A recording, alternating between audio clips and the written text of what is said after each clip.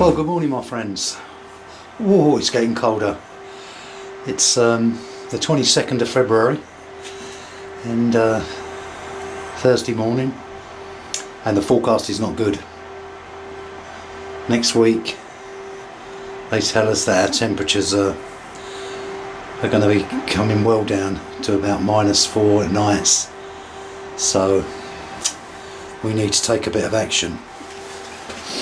Now one thing you can do in the greenhouse anyway is uh, move your plants away from the edges.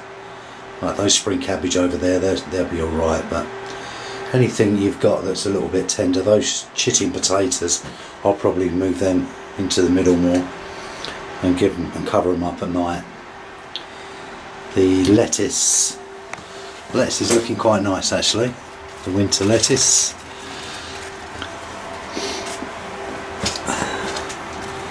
Uh, that's that's looking good. So the lettuce will be alright. It's it's a winter variety, Arctic lettuce, and uh, all year round lettuce, so that should be okay. The onions,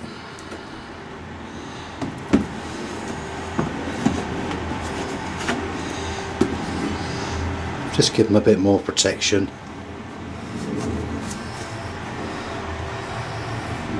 I think I made a mistake by putting that perlite in there I should have put vermiculite but I couldn't get hold of any so I put perlite and no that's not the right stuff to use for them so hopefully they'll get through it but lesson learnt there not perlite vermiculite broad beans in the root trainers, nice healthy. They actually should be going out now. They're going to be grown in containers these. It's the only place I can grow them and um, they're root bound now. They need to get out of these root trainers. I'll get them out, show you. Yeah. Yeah, they need moving. Now the grow tent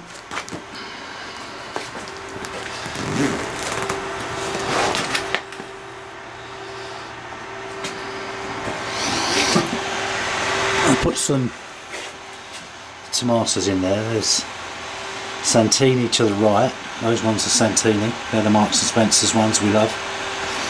And these ones on the left, they uh, they are a plum tomato that's bought from Sainsbury's, and they're the ones I have for breakfast. I like them. So two sorts, and as you can see what the grow light does. No way are those plants spindly and leggy. They're, uh, they're nice, healthy, strong plants. Seedlings. Um, this one here is, can't remember what that is. Um, might be um, some lettuce. This one here is, this is baby pak choi. Just coming through.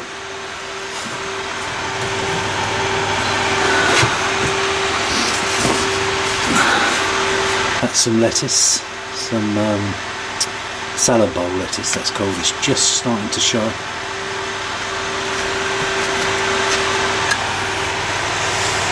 Cucumbers down there, two salts, um, piccolo, the small lunchbox ones, and um, Carmen F1.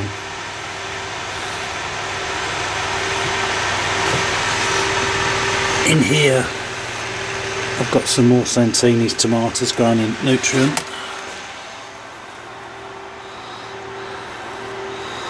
Yeah, they're looking alright, but I can't see no root It's coming through yet, but they're alright. They're getting true leaves now. And these are the tiny Tim tomatoes. Can just get one out while holding the camera. Dear. Okay, these are the tiny Tims that have been in this December and um, as you can see starting to get their flowers on now, starting to get trusses so they're doing well had their first feed yesterday.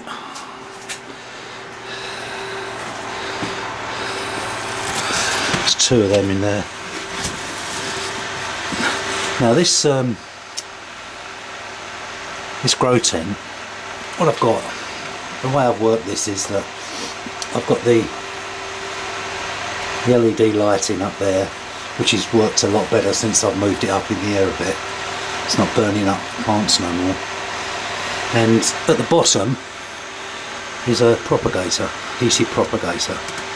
It's all time, it's all on a timer, and this light is on during the daytime.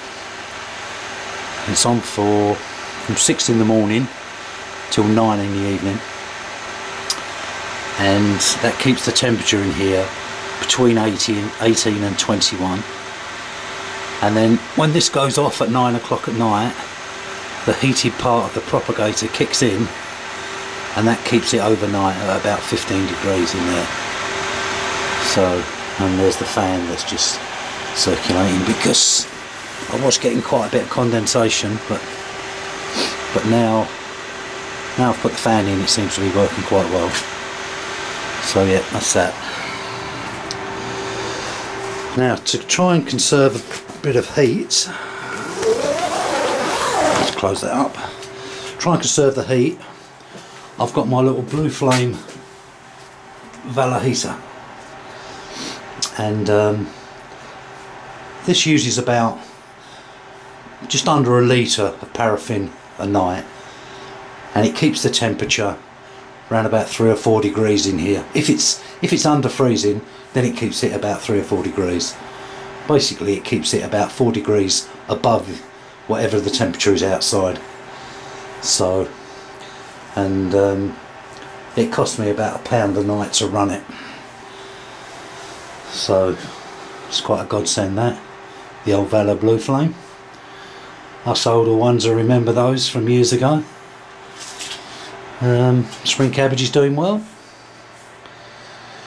And there's two pots there of carrots that I sowed. And they're starting to come through now. I might cover them tonight as well if the, if the forecast is going to be really low.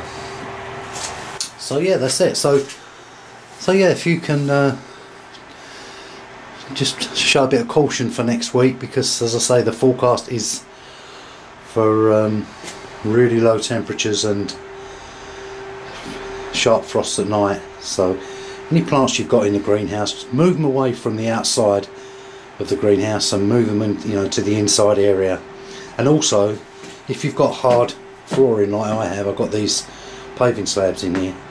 It's a good idea if you can just to put something underneath bit of bubble wrap or something just to stop. I mean when you've got plants that are growing in soil they're getting a bit of insulation from the soil. But of course when they're growing in containers the um, the roots are going to be straight onto this cold slabbing. So beware. Okay my friends thanks for watching. See you again soon now. Bye bye